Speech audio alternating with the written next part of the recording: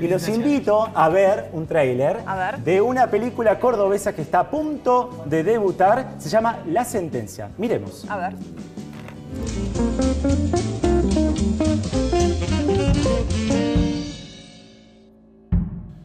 Buenos días a todos. Hoy 4 de diciembre de 2012 damos inicio a las audiencias de debate de esta causa que se caratula Menéndez, Luciano Benjamín y otros por supuestos autores de homicidio agravado, privación ilegítima de, de la libertad agravada, imposición de tormentos agravados, lesiones gravísimas y sustracción de menores. Un juicio. La causa La Perla fue el juicio por crímenes contra la humanidad más grande de Argentina. Buenos días, tomen asiento por favor.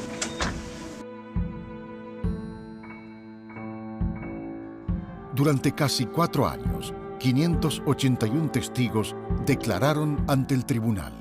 Fuimos secuestrados por un... Familiares de desaparecidos y sobrevivientes del terrorismo de Estado relataron, 40 años después, los crímenes que padecieron.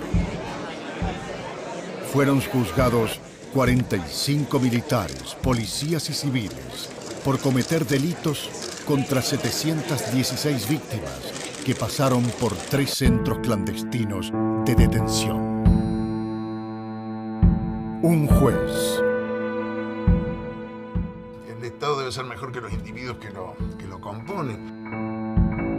un fiscal, estos crímenes que trascienden al ser humano y que afectan a la humanidad toda, no quedan impunes en el Estado argentino.